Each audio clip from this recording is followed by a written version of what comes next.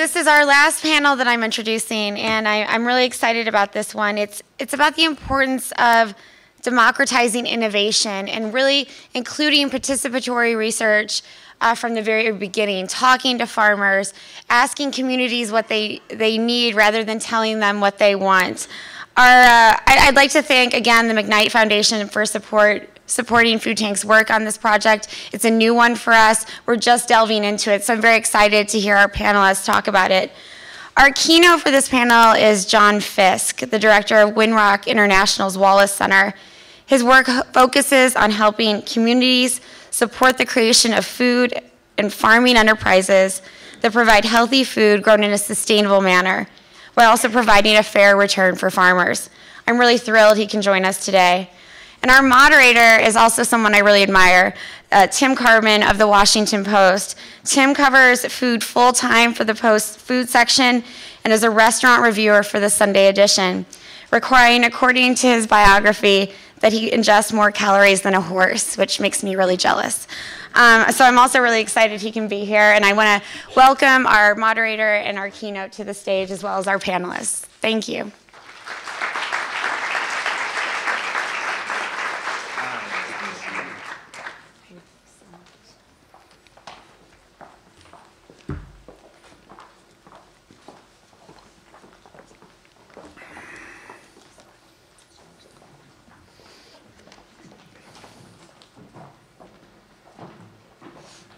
All right, maybe I'll get started while they're, they're getting settled in. It's great to be with you.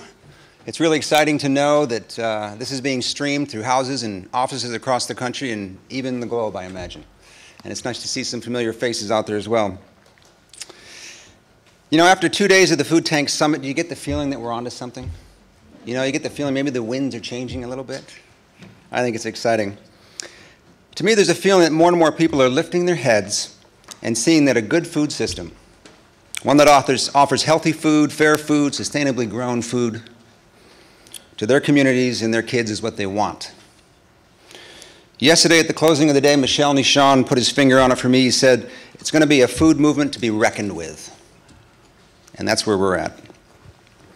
Indeed, there's an evolution going on here, right? I didn't say revolution, I said evolution. Now, why did I say that? Because I believe this is the natural course of things. We tried feeding ourselves from the factory farm. We tried feeding ourselves from the factory food system, and what did we get? I think you all know we got diabetes, obesity, dead zones in the Gulf, antibiotic resistance, fast food chains, and so on. Driving out independently owned and family run businesses from our communities. We got the lowest common denominator, and we called it food, and we called it progress.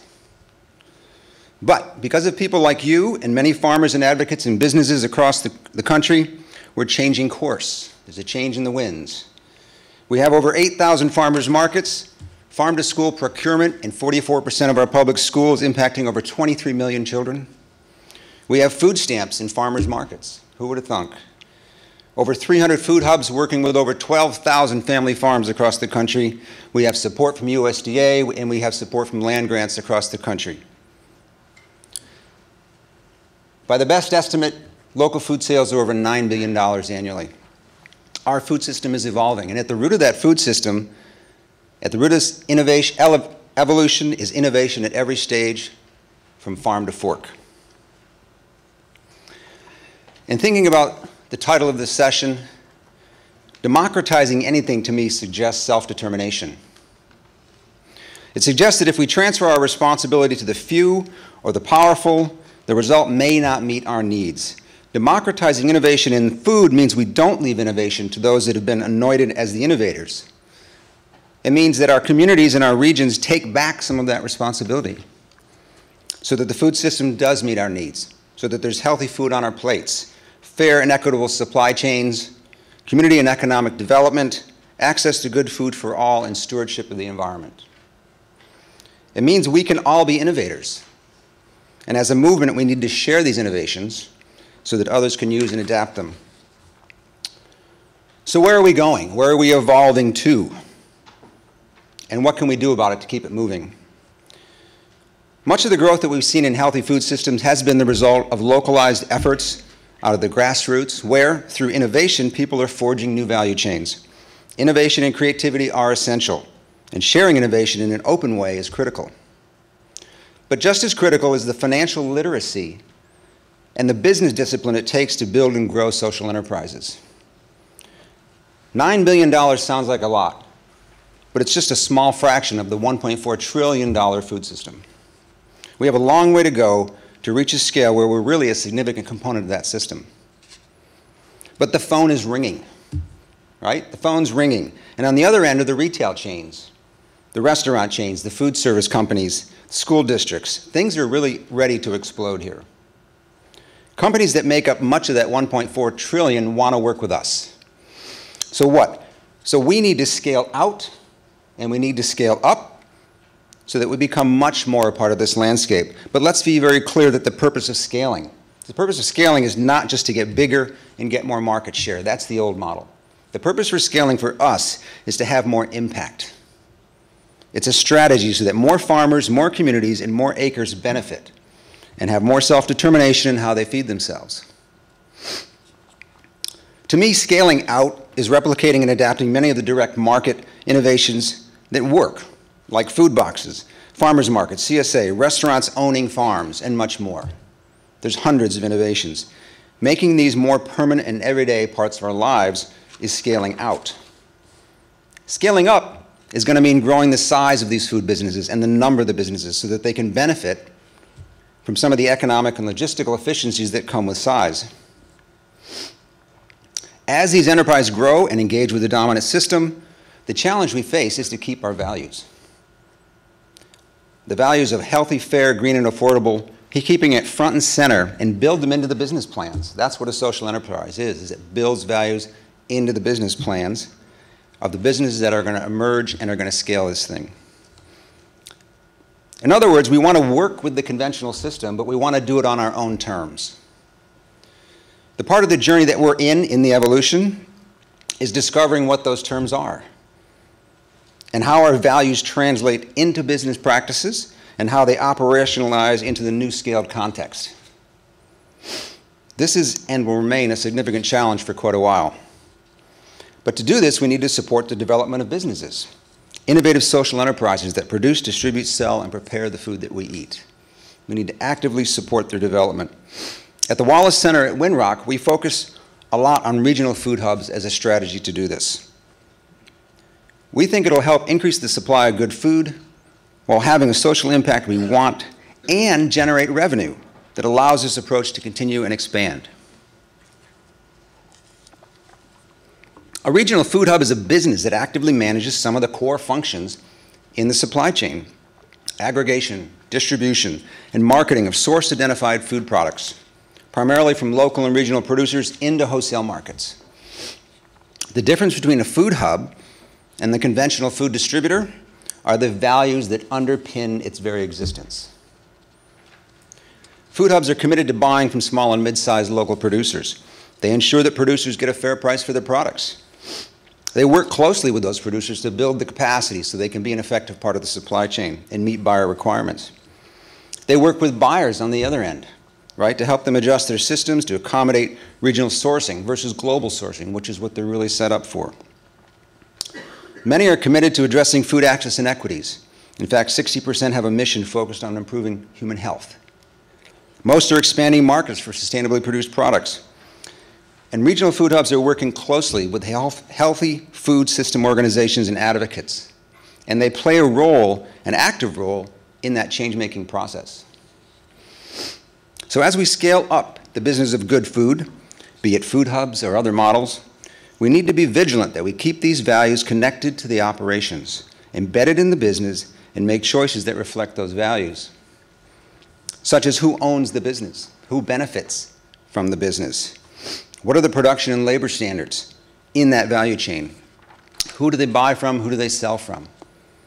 And under what conditions do they do these things? These, these are the embedding of the values in the operation and in the, and in the engagement with the conventional system. At the Wallace Center, we're in the business of spreading innovation and helping to appropriately scale good food systems. We do this in a number of ways. First, we create a space for spreading innovation. The National Good Food Network is a community of practice that connects these businesses and others to foster peer-to-peer learning and support this evolution. We build, a capacity, we build the capacity of people to adopt and adapt these innovations. We provide technical assistance in many ways. We have a successful webinar series that features innovations from across the country, talking about the nuts and bolts of the operations of hubs and other enterprises. We identify and address key challenges in scale, and we seek solution. For example, compliance with food safety regulation. We're working hand in hand with USDA to develop a group gap approach to food safety certification that should cut the time and the cost to small and mid-sized farms and reduce barriers to wholesale markets.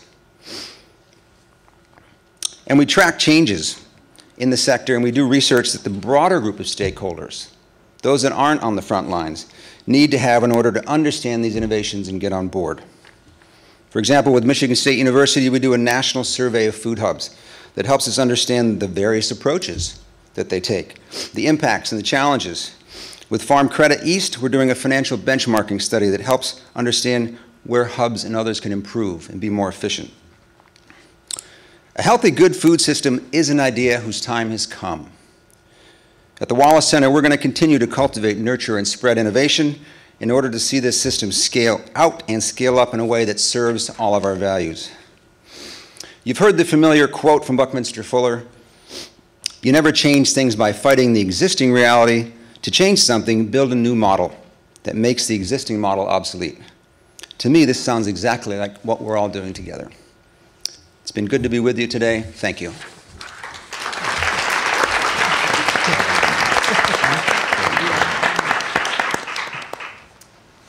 Well, welcome, uh, and thanks for coming to the last one of the conference. Uh, so we, uh, kind of to, to riff on John's um, keynote address, we're going to talk about um, innovations and how you scale them up.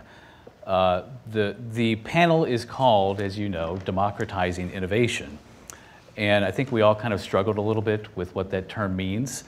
But uh, we're looking at it, I think, generally not just like open source code, where you know someone creates a uh, an idea and then shares it with anyone who wants to expand on it, but as in we have a panel full of innovators here. And how can you scale that up and bring it to a much larger group and change the system, as John said? So we do have a great panel of innovators here, and I want to introduce them. To, from my far left, we've got Shen Tong, who is the founder of FoodX. Next to Shen is uh, Steve Brescia, who is the executive director of Groundswell International. Uh, next to him is Aaron McNevin, who's the director of aquaculture at World Wildlife Fund. Uh, next to him is Jessica Rosen, senior sustainability advisor for Forum for the Future. And two to my left is uh, Doug Hertzler, and Doug is a, is a fill in for Katie Campbell, who couldn't make it today. And to my immediate left is uh, Jill Isenbarger, from uh, the executive director of Stone Barns Center for Food and uh, Agriculture. Um, so let's just start right away. Like this idea of like innovation, scaling up, and working within the existing system. All of these things seem difficult to put a fine point on it. Like, uh, Steve, I know you have you have been working in aquaculture, and Jessica as well, and this idea of like working within the existing system to bring innovation to maybe a system that is not open to it. Explain, like, I, I know you've been working with Verlasso and at salmon farms. It's like, can you give a little bit of hint of what's been going on with that? That's He's the salmon. I'm happy to talk about my work, but okay. start with that. my bad. That's all right. Well, so for World Wildlife Fund, we're really interested in, in trying to identify the key impacts and, and really minimize those key impacts. So we're talking about not a particular system type, but rather innovating around uh, the idea of actually democratizing innovation. So what we feel is the most important is to focus on the major impacts quantify them, and then set targets against those performance, uh, performance limits and let, uh, let producers and innovators move to those levels and get beyond them. And one of the key aspects was a, a, a, far, a farm started by DuPont Chemical uh, called Verlasso Salmon. And what they did was they took an issue that's really dear to the environmentalist heart, which is the, the, the use of wild fish in feeds, um, and they sidestepped it with uh, a protein alternative and reduced the demand of wild fish for their salmon by 75%. And of course, it's proprietary.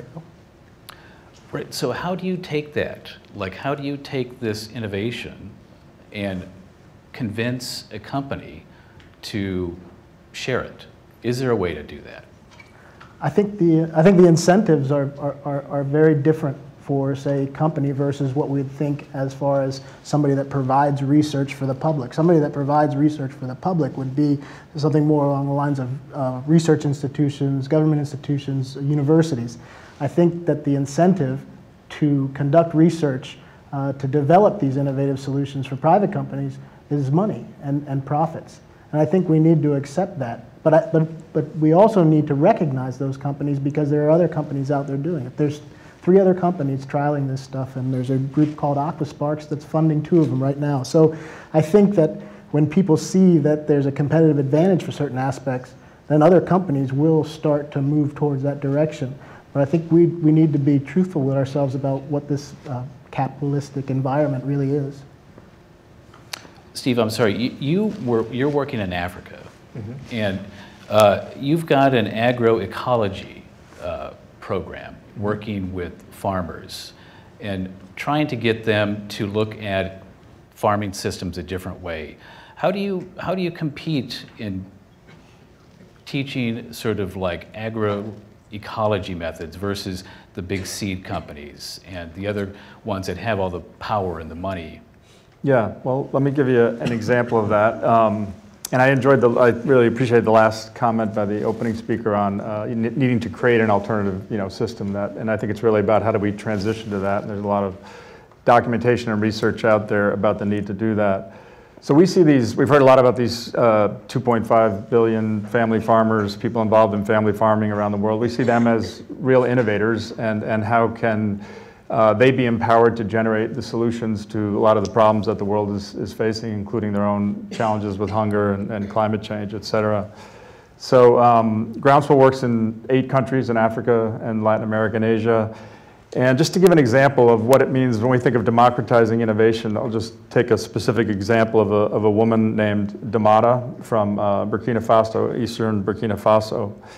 And um, she, like a lot of people across the Sahel in Africa, uh, is facing a severe soil fertility crisis uh, on, her, on her farm, having trouble you know, producing enough food for her farm, can't generate income to send her children to school, is having to uh, strip her assets and sell animals and things like this, and becoming more and more vulnerable if, if they're hit with you know, harder shocks. So the reason for that is, is something that's really common across uh, the Sahel and Africa is that in the past, people used to um, fallow their land. They used to um, leave their land for 10 to 20 years and, and move on, and then they would cut new land. They would clear the trees, burn them, burn them off, and then come back to that land after 10 to 20 years, after producing in the, the cleared land for a few years.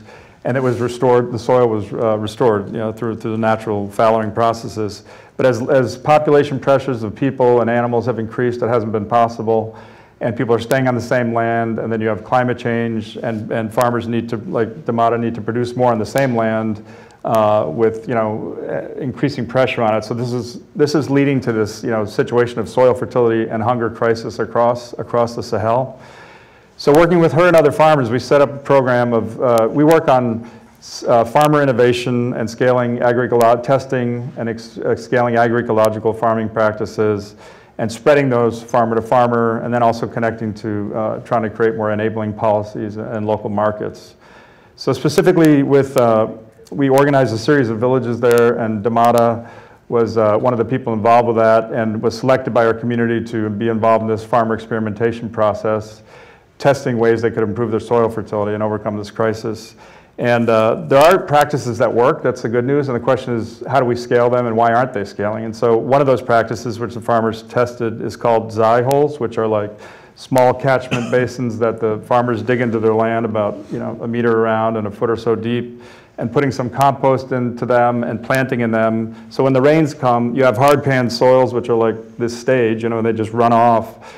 But when the rains come, they catch like four or five times the amount of rain and allow production to increase and the soil fertility to, to come back. So in the first year, Damata saw that her, her, production was increasing about 75%. And then other neighbors noticed that, and you know, other, other farmers are also experimenting the same way, and they begin to share these practices, you know, farmer to farmer. And, um, and then a second part of the process was connecting them to this really exciting uh, movement of regreening the Sahel, which is, there's some really, uh, as I said, exciting practices around even though farmers have been clearing their land of trees, there's, they, farmers and, and NGOs and scientists, uh, people have noticed that there's a living forest of the stumps and the roots under the land. So how about dialoguing with farmers about letting those trees regenerate on the farms and seeing which ones are good for restoring organic matter or uh, you know, fixed nitrogen or fodder for animals or firewood. And so we organized a cross visit to another uh, set of villages that have achieved this and really changed their landscape and, and helped to regreen things. And with these community groups that, of which Damata is a part of. And now they've come back and they have, you know, beginning to do this on their own land. And this is, this is a innovation uh, which is, is uh, I think, very democratic and is, and is expanding at scale. I mean, you can even see satellite photos, you know, across parts of the Sahel with uh, increased tree cover and uh, leading to all these benefits, including increased, you know, food production. So now last part of it is trying to get these organized groups to be in dialogue with their for example, their government uh, officials, local district planning processes on food security, so that they can say, for example, you know, instead of investing 50% of our Ministry of Agriculture budget in chemical fertilizers, why not support these processes that work and scale them? So there's a number of steps involved, but there's, we see tremendous hope and potential working with farmers in that way. Are governments responsive? They can be, and we are working in this program I mentioned directly with uh, INERA is the research agency, the research arm of the Ministry of Agriculture in, in, Burkina Faso, and they're a part of this process with us. So that's that's part of it is to you know we can't do it in isolation. Is to you know build understanding with them and build collaboration with them. So they've been yeah collaborators in this process. Well, see, I think what's what you know for essentially an outsider like me, you know, listening to your story, it's like why everything that you argue about increased yields, uh, uh, soil fertility, increased soil fertility, um, you know, feeding hungry populations. All these just seem like no-brainers. Where would the resistance to try to spreading this come from? Well, it doesn't, the approach I'm describing, agricultural approach, doesn't open up markets, you know, for, for chemical fertilizers or, or external seeds or pesticides. So there's a lack of interest uh, for those who are interested in those opportunities. And in low-income countries like Burkina Faso, sometimes the research ministry, their, part of their budget is paid for by external grants and you know, development agencies who perhaps want to introduce some of those practices. So you do have you know, major you know, corporate interests also influencing as well. And I think it's just, it's part of this whole just change process of, of creating a tipping, point, tipping points and seeing that this is a viable alternative and why, yeah, why not scale it and spread it. Um, and, and just kind of a paradigm shift as well for opening up, you know, how, how agronomists and people in ag ministries, et cetera, have been trained over the years is not necessarily in line with what I'm describing. Well, I think, uh, Doug, you can kind of maybe riff on this. I know you were working with uh, something you were telling me about called the, the G8 New Alliance and how they've kind of kept small farmers out of the decision-making process. Can you tell us a little bit about that? Yeah, well, uh, I'll tell you a little bit first about uh, about what Katie Campbell might have said if she, if she was here, because I know Katie very much wanted to be here and, and can't be, and I hope she's watching on the live stream. We'll send some positive thoughts your way. Um, but but Katie works for a project we call the Public Financing for Agriculture project. Um, ActionAid is present in, in 45 countries in both the uh, northern and southern hemispheres, and we're a human rights organization working on the right to food and women's and, and children's rights. Uh, the Public Financing for Agriculture project uh, gets women farmers to look at their national agricultural budgets, and uh, it's working with groups of actually thousands of these farmers in four countries to go to their governments and, and ask for more public financing for things like agroecology and things like basic rural rural infrastructure. African governments have actually already pledged to do this. They pledged to raise their spending on rural areas and on agriculture by 10%, and up to 10% of their budgets, and they pledged that in, in um, 2003, and they've recommitted to it in 2014, but it, it hasn't happened yet in most countries. Uh, and, and, as we know, that's a key, and it's been very, very good in parts of, of uh, Asia in, in really addressing hunger. Um, on the negative side of that, so we can get you know, women in, involved in speaking to, to government. Um, some of the international development processes are going in the opposite direction. So we've got the G8 um, New Alliance, which was set up by the G8 during Obama's uh, presidency of the G8 in 2012. And uh, through 2012, 2013, they negotiated with 10 African countries, G8 governments and, and African governments, and private sector um, investors to uh, make policy changes that to African governments agree to policy changes that would would bring in more private sector investment. And this involves changing seed laws, and this involves in making land uh, available to investors. So, for example, in, in Tanzania, the Tanzanian government currently plans to, uh, to set up 25 large-scale farms, and on average, each of these farms is the size of the city of Washington, D.C. Um, and this is supposed to, you know, trickle down to benefits to, to smallholders in some way. But smallholders haven't been a part of this process at all. And so um, there's a lot of work that needs to be done to bring smallholders, and they have organizations, bring their organizations into the international development dialogue. Jessica, you kind of involved in similar uh, areas in Africa, is that right? Um, we work really globally, um, mm-hmm. and I think that a lot of our um, partnerships, so Forum takes a different perspective, I think, from some of the other panelists in that we treat democratizing innovation at the system level. So, how do we shift the system? And our approach is working um, mainly with business, um, with a lot of the manufacturers and retailers and restaurants and food service and even agribusiness on working on their internal sustainability as well as partnering within their industry and with other stakeholders along their um, supply chains and with their consumers. And so our mission is really to accelerate a transition towards a sustainable future. And we've heard lots of speakers talking about how we have some really big problems and really big challenges, and we really need to accelerate that change because we're not going to have three planets available by 2050. I think Luca mentioned that earlier. And so we see that the scale at which some of these companies operate um, as an avenue to create some really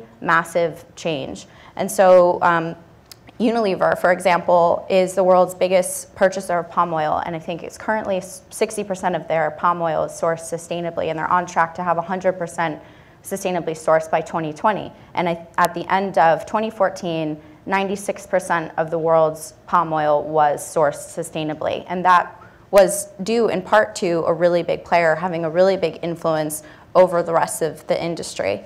Um, and Forum for the Future works on democratizing innovation in food by bringing a lot of these stakeholders together to um, our mission in food is, is around the three R's, conveniently called. So um, reconnecting people with their food and rethinking value in the system and restoring resilience in the system. And we do that through transforming food culture by reducing food and packaging waste and work on sustainable diets.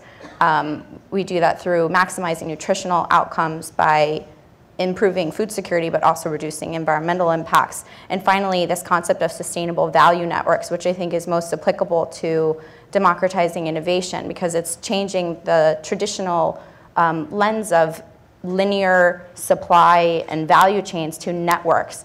The world is about networks and relationships and two-way information sharing and not just take, make, use, and waste um, our food. And so looking at things as a network, I think, has a tremendous potential to um, really democratize innovation in the food system. And we've demonstrated this through a project in the tea sector called Tea 2030 that is about creating a sustainable future for tea. And we brought together the biggest tea buyers, producers, um, certifiers like the Rainforest Alliance and Fair Trade. So everybody is involved. And tea is produced in a lot of um, developing countries, Kenya, India, Indonesia. So the producers are really important part of that value network. And those big stakeholders came together to identify what the challenges were for the future of tea in the future and what innovations and collaborations they could form to create a more sustainable future. And those three platforms we're looking at market mechanisms and um, sustainable landscapes, which is being um, led by the Rainforest Alliance. Unilever is leading the market mechanisms bit, and then also addressing consumers. And some of the principles we identified of a sustainable value network include more connected consumers and really empowering producers. So that's how we think about democratizing innovation um, within the food system is really thinking of it as, as a value network for all of the stakeholders involved, and not just in Africa, but um, around the world. So let me go back to Unilever. Like, they're big enough they could probably just do whatever they want. Like, how do you, how do you convince a company that big to, you know what, let's spend a few pennies more to do sustainable palm oil?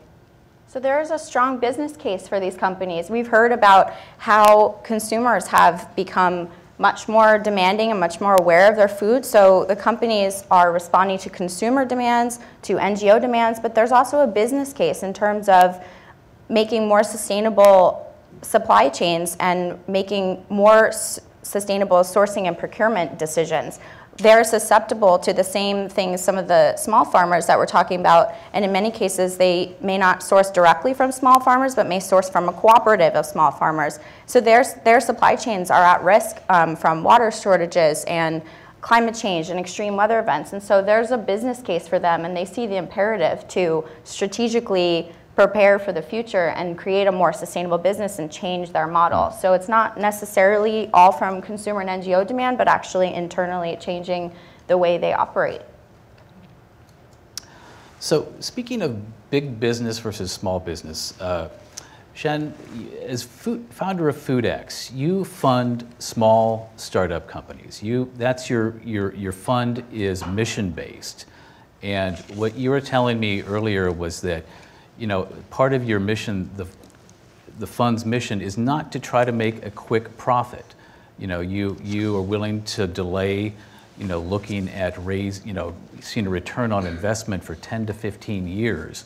And that gives you a flexibility to maybe take a chance on, I think I use the word riskier companies, but uh, I, you have a better definition of it. Like, give, give me a, a thumbnail of like how you invest in companies that are trying to do better for the agriculture and the environment and food?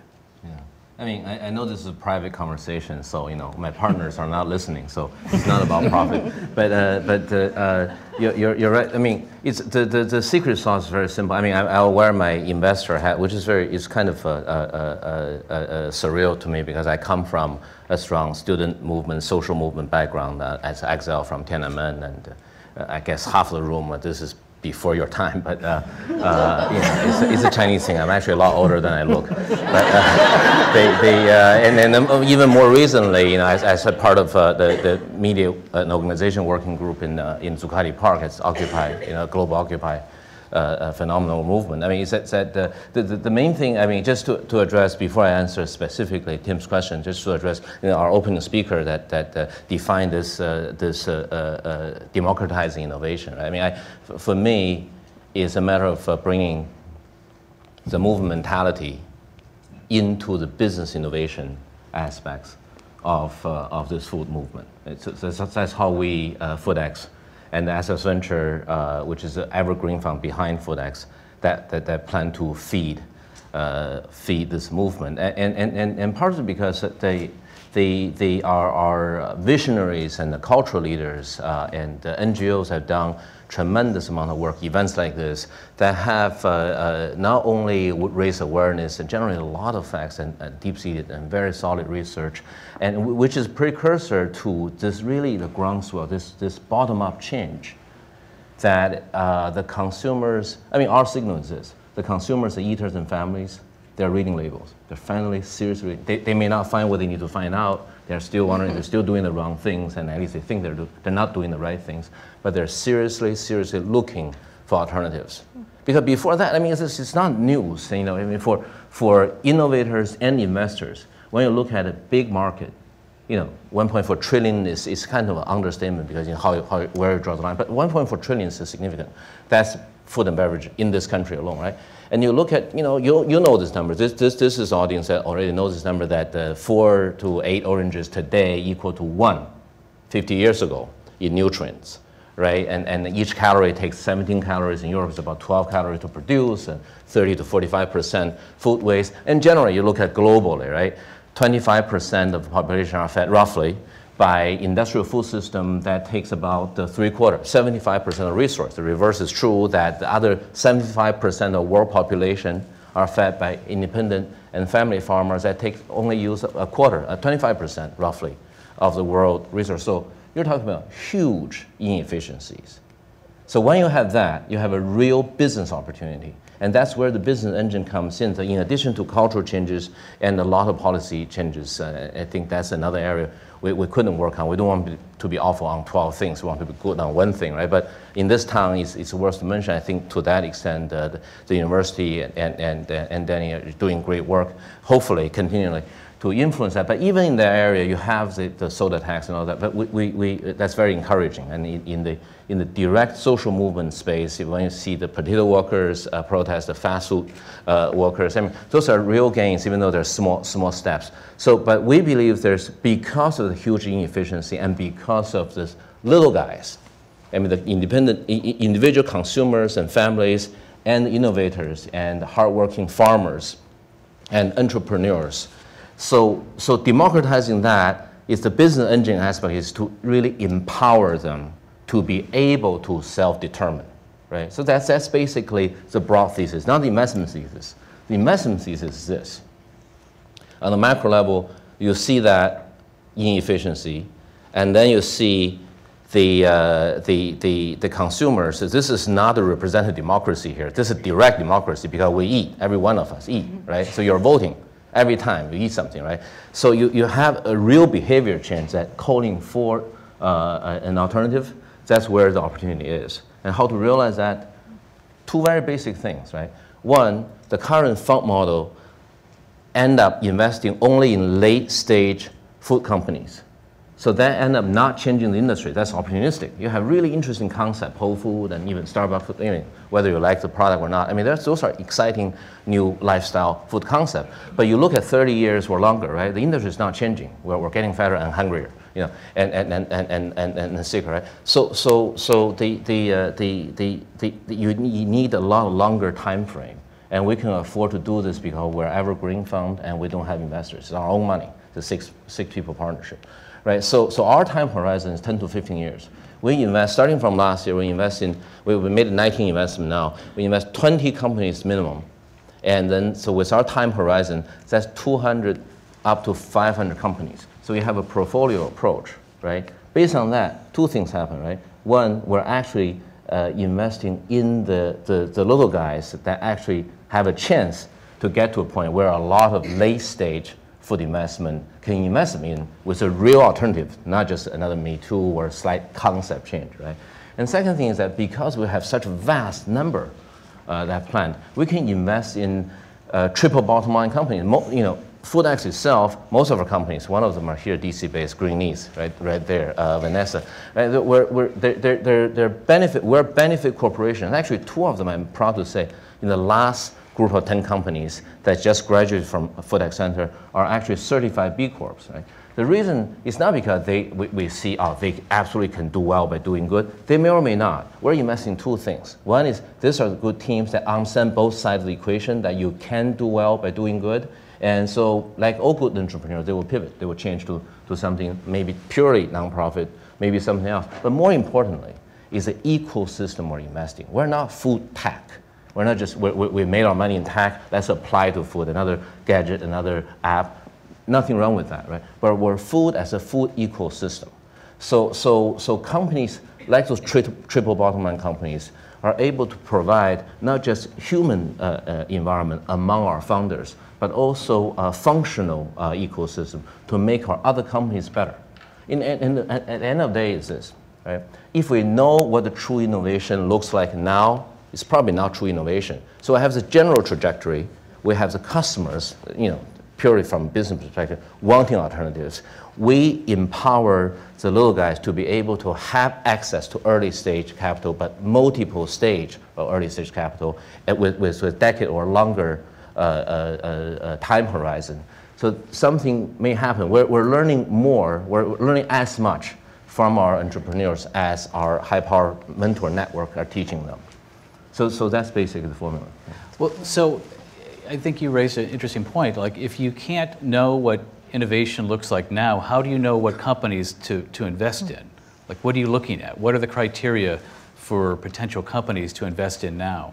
Yeah, there, there, we have 17 filters. I mean, this gets a, a, a, kind of methodical, but the idea is actually simple. You see, it's most bizarre that uh, it's very hard to reconcile doing good uh, uh, doing well by, by doing good. But in this, there, there, are, there's this times, right? It's like a perfect storm. There's this moment where usually, usually historical, a major, you know, major historical event, often disastrous historical event that create completely new way of behavior, therefore new set of businesses, right? But this is one of those times, even though we don't have a single event yet, this is one of those times where it converged fairly well. This is one of the, this is about only movement I've been deeply participated in that is actually a happy, happy movement because I can actually see the finish line because our mission filters, there are five mission filters and there are uh, 11 business filters and one about just cohort learning. And, and that they, they actually, after uh, making the, the, the, first round of investment, becomes businessly more relevant. So here is the direct answer, right? So we're looking for systemically disruptive ideas. So they're specifically looking at the current industrial food system practices and how to make those systems obsolete. I mean, one example just to, to I mean, it's actually a smaller example, but the, uh, uh Tom, I think from last panel from uh, 4P or, or P4, I mean, that's an idea that we, we you know, it's just one of our investment that is, uh, we call it super CSA because it transforms CSAs in two ways. One is, is 12 months. So it's not just uh, you change behavior seven months, you go back to the, the modern consumer uh, uh, economy, right? I mean, five months from grocery store, it's 12 months, but it's also produce and proteins and value add, so, so frozen, cured and all that. All of this, I mean, talking about inefficiency, right? I mean, 1,500 miles, we know this, right? 1,500 miles behind each food item in the United States, right? So, so, so Next Organics, this company, Brooklyn-based, is sourcing within 100, at most 150 miles, and, and in comparison, some more uh, uh, mature company like Fresh Direct, that's 300 miles. So you know the efficiency is there, and with enough time, that's a kind of system when it's 12 months, uh, year, year-round, protein and produce and frozen value-add product alternative. That's a real full alternative, and, and, and, and that kind of idea is, is, the stuff we're, looking for, not uh, you know 3D printer uh, for food and it's great, you know, and a gadget for, you know, we have those companies. I mean, a gadget for a, a sous vide cooker that's a ci circulator, you know, kitchen, great, right? But that, that's not systemically disrupting, it's in, inspired. Right? But it's those kind of somewhat boring from technology perspective, but, but from, from the food and lifestyle perspective, it's a game changer. Well, one of the real innovators on our panel here is uh, Stone Barns. And Jill is with Stone Barns. And, and, and you, you know, seem to work very grassroots. It's like people come in to Stone Barns and get to see and experience and smell and, and touch and everything, like what you do. Like, I'm wondering, like, how does that translate into people taking this experience and moving it out into the world? Or does it? Or is it just meant to just be an experience that doesn't have a larger impact in the world? Um, I think I think both of those things are true. So we um, Stone Barns has a program for general visitors. We sit within 30 miles of 25 million people. So if you want to come there on a weekend and see a farm that's trying to work in harmony with nature and harmony with an ecosystem, you can come kind of look under the hood and see what we're doing. And so for those people, I think really what we're hoping is that they'll come there and have the kind of experience they want to repeat. And they'll start to think about how can they become an active food citizen that supports farming that looks agroecologically sound. Um, but I think equally important is the work that we do with more targeted audiences. And so one of the things that we try to do is create a space for people who have different professional backgrounds and experiences to come together. So a couple examples of that. One is in late December, we had 12 master farmers, so Eliot Coleman, Fred Kirschenmann, Jack Algiere, Cheryl Rogowski, 12 young farmers who are new to industry, a lawnmower manufacturer, a wheelchair manufacturer, and a couple seed companies who produce tools for small and small scale agriculture come together to think about tool innovations. So they heard from the farmers, what do you need to make your 30 acre farm, your five acre farm run more efficiently? Um, what kind of tools do you need that are more ergonomic for your body? Um, what kind of tools, what's kind of a price point that you can afford to invest in to realize the efficiency that some of these tools would bring? And they came up with a list of 35 tools that farmers would like to have. And they talked about a couple specific projects. One is a small scale tool carrier that will do many, many things in kind of a market garden sized agricultural landscape. And Johnny's is really interested as they see the small scale farming market taking hold and growing and potentially manufacturing some of these tools. So, and we had the lawnmower person and the wheelchair person and the guy who works on chips in the room because they have engineering backgrounds and could bring existing technologies from other places in the world to bear on agriculture. So we're not inventing things from the beginning, but we really like this idea of bringing kind of strange bedfellows together and being very, very open, but also kind of trying to stimulate that conversation. Um, and another place you see that happen at Stone Barns is kind of the farmer chef scientist relationship. So we're doing lots of projects um, that that try to try to stimulate that. And one that's very interesting is there's a young breeder at Cornell University, Mike Mazourek, who is working closely with Dan Barber, who's a inventive, fabulous chef who has a restaurant at our place, and Jack Algiere, who's our farmer, to develop seed varieties that perform very, very well in the Hudson Valley and that taste really, really delicious. And so these three guys just get really, really excited about how can they create kind of the sweetest squash you've ever tasted. And I think they all share the end goal that they want to see people develop a pattern of eating that reflects a more ecologically viable agricultural system. Um, so we just we try to provide create an environment that that pro different professionals can come together and think about about problems and opportunities related to food. So. Great. Uh, well, let's take some questions from the audience. Uh, we've got about 18, 19 minutes left, so please step up. Yes. Hi, Bhavani Jaroff from iEat Green. Um, this is actually for Aaron.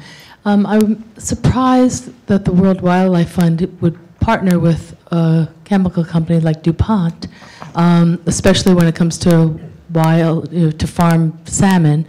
Um, you know, my question is, you know, you talk about the proprietary food that they're feeding to the animals. I don't know if any of you ever saw Dan Barber's TEDx talk about, um, you know, farm raised fish, salmon, and the food that they feed, and the food pellets, you know, and he was trying to dig down and find out what that food was because it was also proprietary, and I don't know if it was DuPont's or not, but he found out that it was, the protein was from chicken feed, from chicken scraps, all the parts of chicken that, um, that you know, people don't eat.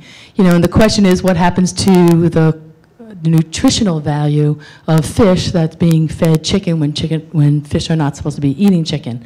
Um, and so I was just wondering how the World Wildlife Fund feels about trusting a company, a chemical company like DuPont, um, about proprietary ingredients, just like you know, um, proprietary ingredients for fracking or anything. I mean, usually proprietary ingredients are not very good. So, um, anyway, that's my question. Sure. So I think that I think that probably the the real issue for us is is about the reduction of impacts, and so what we have is uh, 80 to 85 percent of fisheries overfished, overexploited, and this is the threat right here. I mean, you can see things dwindling away, and you see a salmon industry that uses about 50 percent of the pelagic fish oils and, and, and, and that's driving a lot of this overfishing. So what can we do about it? And what can we do and not be afraid of making some mistakes or, or making some people mad? We need, we can't stifle the innovation by being scared to take a chance. And I think that what we say is that we've seen a 75% reduction in the amount of wild fish that they depend on.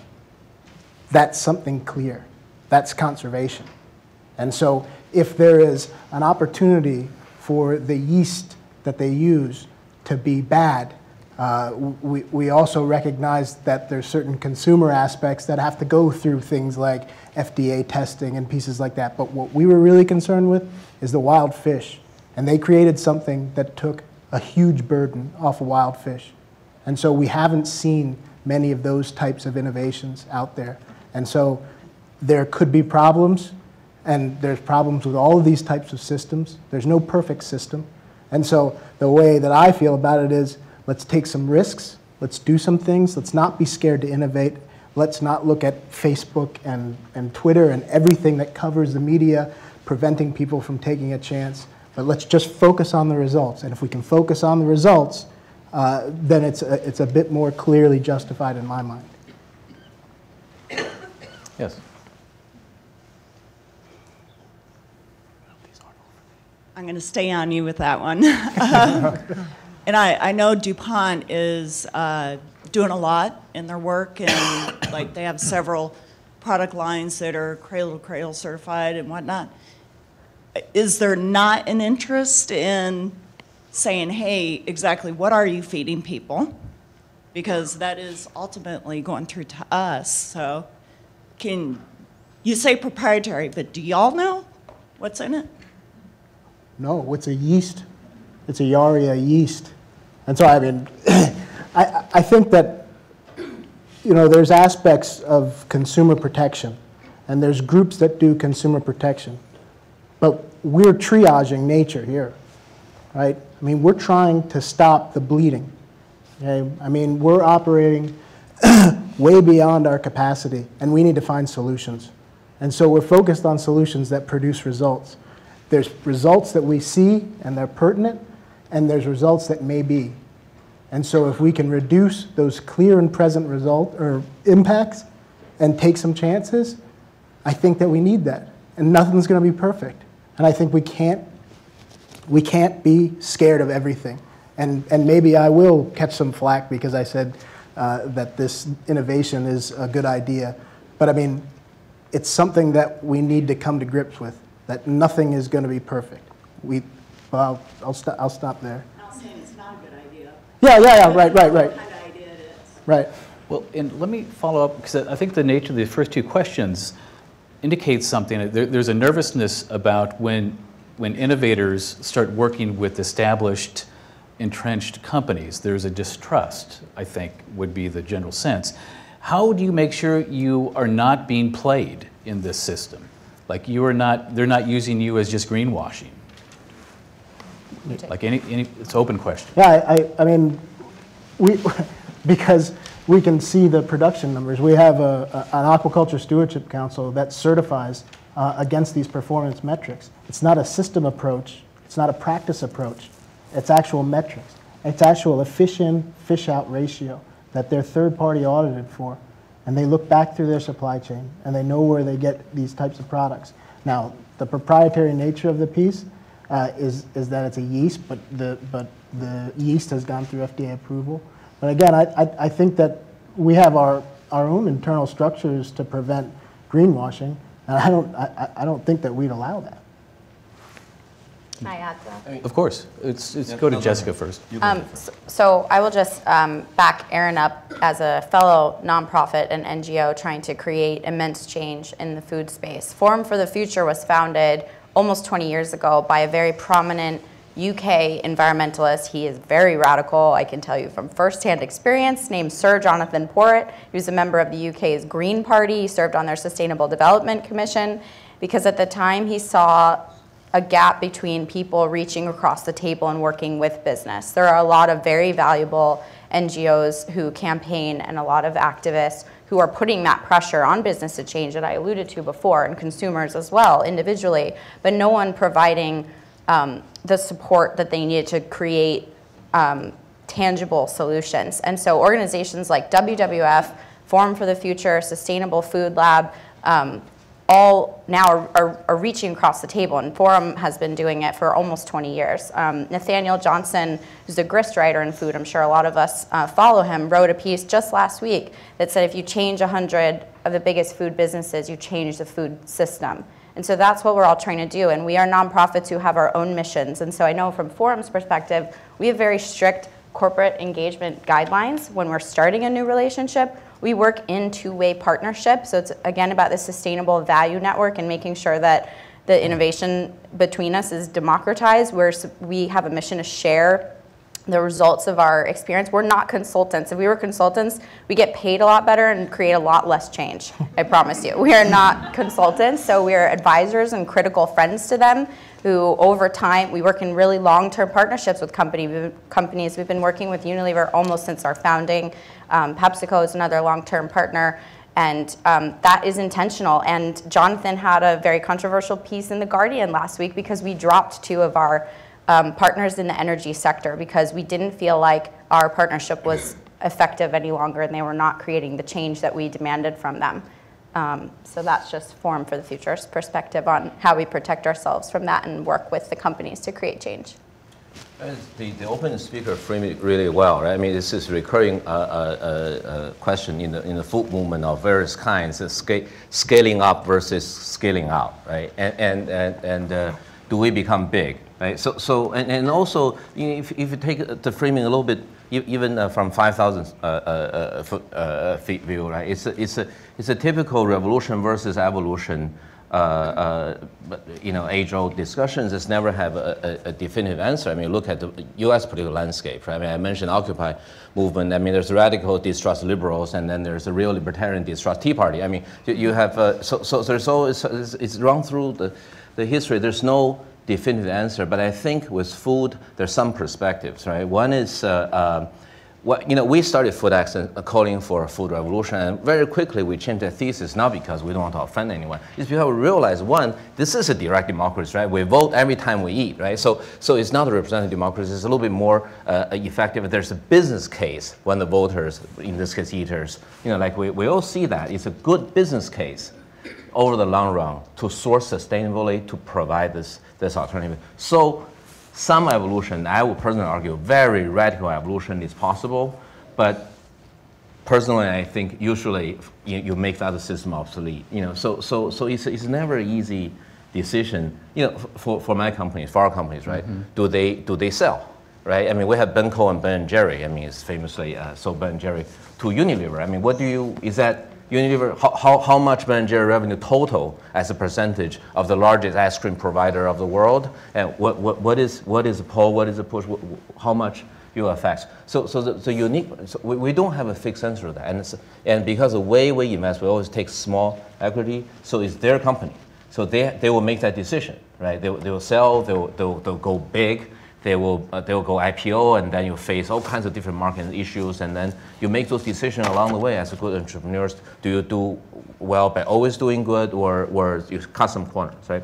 So we can resolve that question. But what we do here, uh, at least in the FoodX world, is this, we remind them, and this is generally true about what I observe as a food, food movement in general, in which, which we are and I am part of, is that there is a tendency, and it's very understandable tendency, but it's absolutely not necessarily self-defeating, that is to avoid, that to have ideological purity, to mm-hmm. avoid to work with the, the, the big evil empires, right? To, to, to, to even uh, frown at capital and, and, and, and to, to, to, to, to reject the con concepts of big, right? Uh, is there a happy, happy medium? Yes, the good news is this, yes, right? Because there, sometimes scaling up is scaling up I mean, I'll give you two, two set quickly uh, examples. Right? I mean, one, again, from, uh, from, from a movement background, you look at Tiananmen Square, when we have 150 million people on the street for extended period of time, right? I mean, that's all, ground, that's all bottom up, right? I mean, it's the same thing with radical movement like Occupy movement globally, right? But you look at the IT uh, world, there's a tried and true very established examples. So when you look at companies like eBay, right? I mean, they, they enable a lot of little guys and bypass and it makes other model, uh, if not obsolete, at least it's a real compelling alternative and employ like a third of a million of, of, of, uh, of sellers and, and, and buyers. So, I mean, so there are those models that scale up while they scale up. You know, so that's, that's our job to, to remind our entrepreneurs, our companies that there are those alternatives and ideally you want to go for that alternative first. All right. I think we've hit the evil empire question pretty well. Um, other questions? yes, here. Um, my name is Amber Breitenberg. Um, I'm from 4P Foods. Um, the question I had is just a thought that came into my mind, in that humanity is very set on progress, and in that progress, uh, often we are moving forward, um, innovating to something new, but often that also um, forces us to to turn away from some of the more traditional things that prove to be more sustainable uh, and long lasting. Um, so, do you see or the potential that in the future in innovation there is room for traditional practices and looking back? I, I don't know, I, and this, this may be kind of bucking the system a bit, but the traditional practice, say, for shrimp farming in Southeast Asia is to cut down mangroves, dig ponds there, and let the water flow in and out of those ponds. Um, really large damage. Uh, if you were to look uh, at the coastlines of, uh, in the Gulf of Thailand, in Thailand, uh, Ca Mau and the tip of Vietnam, Sumatra, in the Strait of Malacca, Nenning, Guangzhou, these areas uh, have been decimated, and a lot of it has been done by small scale production. Now, maybe that's feeding into a larger industrial design of an aggregator and a large buyer, but a lot of this was done by small scale producers. And further, I think that we've heard a lot about sustainability um, from an organic perspective. Uh, but if you were to do the calculations of low intensity farming for, let's just say, the US demand for farm shrimp in Thailand, you would need 50 times more land converted to, uh, to shrimp ponds. And that's coastal land.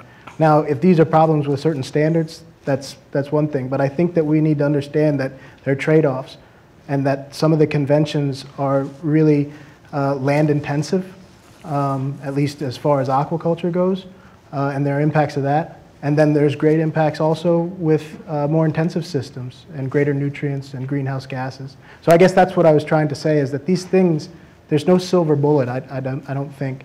Um, but there may be some conventional wisdom and conventional practices that have worked for a long time and that have sustained themselves for a long time uh, that are better than others, and I, and I probably would let some of the others speak. I have a quick answer. If you replace the word tradition with nature, then our formula is simple. The reason we're not food tech is because we believe to restore good agriculture, therefore good system, is to actually 90% of it to go back to nature, of respecting nature. If that involves tradition, great, and often they do. If modern technology and future technology help us to get there, great. You know, we, we shouldn't be ideologically pure to you know go back to paleo diet or something. There's nothing wrong with it, by the way. And and and uh, but you know, 10% is uh, forward-looking. So I mean, for us, if I have to put a percentage on it and swap your question with nature, 90% is going back to nature because we lost our way by not respecting it. Let's go to Doug first. He's been waiting patiently, then we'll go Steve. Well, ju- just to say, I mean, traditional practices or, or practices within the last recent decades of small scale produ- producers aren't automatically beneficial. There's a lot of a lot of pressures on them, but we can't discount the real knowledge there, and it is it is being discounted in, in, in many sectors. I, I got to go back to the evil empire real real, the evil empire. real briefly. It's a I- big I- and so I'm not going to criticize uh, Project Unilever or, or DuPont, just to note that they are part of, for example, the G8 New Alliance in Africa. And there is a real question of power in the food system, and these companies are expanding their power in Africa and their control over resources. Um, they're not necessarily buying land directly, but they're, they're in, you know, they may be in relationships with people acquiring land. And, um, and so, um, you know, the bottom line is, is there's a, there needs to be a role, um, there's a lot of talk about public-private partnerships, but in many cases, and there is a very important role for private capital and private companies, I don't deny that. But the public sector really does need to take its, its, its proper place, and, and there needs to be democratic processes in which, in which small producers are influencing that private sector. And to go back to our keynote speaker, he talked about the food hubs here in the U.S. I mean, we would love to see USAID and, and USDA promoting food hubs in, in Africa uh, instead of some of the, you know, the more asymmetrical relationships that are being promoted. We have about two more minutes left, Steve. Yeah, I would just add that, you know, when we talk about these agroecological learner, learning processes, you know, farmers, of course, are innovators, and it's a constant process of innovation. So, as was mentioned, you know, some practices like slash and burn are traditional but are not sustainable, not agroecological, and there is a need to increase production. So, that's part of the whole dynamic is supporting processes with farmers organizations and women's organizations where they can continue to evolve, improve, but on their own terms as actors who are, uh, uh, you know, given power in the system to uh, engage in this process, generate uh, alternatives, and try to scale those and try to connect to markets, but, you know, as people that aren't marginalized but have a real voice in the system as democratic actors. We We're, at, at we're having conversations every day with farmers who are doing things particularly around soil, so it's the year of soil. They're looking back at Sir Albert Howard, they're looking at these old style European crop rotations to try to replenish their soils and make them more nutrient rich and manage them. So um, you know, I think it's, I, I, heard, I, go back to what Shen said, which is it's marrying kind of technology in some cases, but also like looking back to biological sciences that have been effective methods of farming for hundreds of years and really trying to, to learn from that, that knowledge base that already exists. Let's take one more question. It's got to be the question from the gods. Who's got the best question out there? I'm sorry, that was probably too big of a statement. Come on. Yes, gentleman down here, front row. Oh, wait, we already had one. Sorry. Let's go up here. I don't want to usurp God. Sorry. Um, my name is Melissa Terry. I'm a food policy graduate student at the University of Arkansas. And my question is for um, the innovation and the entrepreneurship practitioners and um, accountably engaging with the evil empire or with big business and the public private sector partnerships. The question is, um, how effective do you think um, brokers like the Sustainability Consortium are in scorecards and key performance indicators that, that can be third party, um, keep third party accounting of the relationships like that you have talked about? Is that for me? Okay. So the question is how how effective is the things like are this? You using, uh, are you using Sustainability Consortium or something like that as a third-party accountant for gauging the, um, your relationships with these big businesses? No, so we don't use third-party verifiers, but when businesses have um, metrics or measurements of the way that they do their operations, they engage with companies who are third-party certifiers who often charge a lot of money and are consultants. So we don't use them to monitor our relationships, um, but we think that our own um, self-monitoring and, and our own moral values are, are quite strong. So, I mean, we are a group of vegetarian bike riding. We work in an old industrial building in a lovely part of Brooklyn called Gowanus. Um, so we, we are you, I am you. I used to be a volunteer farmer at Stone Barns. Um, and so we, we don't pay other companies to verify the work we do. Just wondering about the effectiveness of these kinds of programs for the private sector as a tool for you. Of so, course, that's what so the bottom line is, right? right? Yeah. So that, that's up to them to measure the impact of the things that they then implement. So we kind of set them on their way and help them set a strategy and real goals that they can implement. Um, but then we are not in the company to then implement them. And that's why we work in long-term partnership because then we check in and find out how the program's going, any new, um, any new challenges um, that we can help with. So sorry if I didn't answer. Maybe Aaron. They've been invaluable for WWF. I mean, we look to an ISEAL Alliance accredited uh, standard setting process. Uh, so you're already talking about setting standards that are already accredited. Uh, and then we look for a third party independent certifier. Uh, and like the Marine Stewardship Council, the Aquaculture Stewardship Council, um, this is our effort at democratization. I mean, we can't go out there and be with every farm. We need others to do the work for us. We can try to initiate some of these things, but our effort is to use the market to try to leverage more of it. So I, I think that those are invaluable tools to uh, at least the environmental community. Thank you very much. Very, very uh, entertaining and intriguing session. Thank you. Thank you very much.